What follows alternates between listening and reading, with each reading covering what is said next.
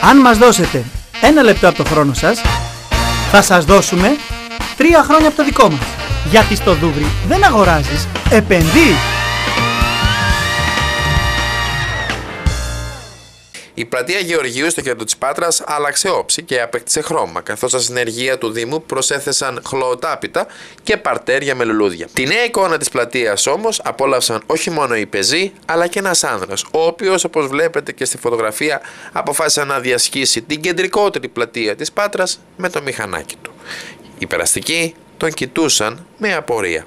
Τη φωτογραφία δημοσίευσε στο προφίλ της στο facebook η δημοσιογράφος Κλειό Βασίλογλου. Δοκιμάστε απολαυστικές γεύσεις από κοντά σε ένα κατάλληλα διαμορφωμένο χώρο που διαθέτει και δύο οθόνες πλάσμα ή από το σπίτι σας με ένα τηλεφώνημα σε χρόνο Express. Εστιατόριο Express στη Γούναρη 66.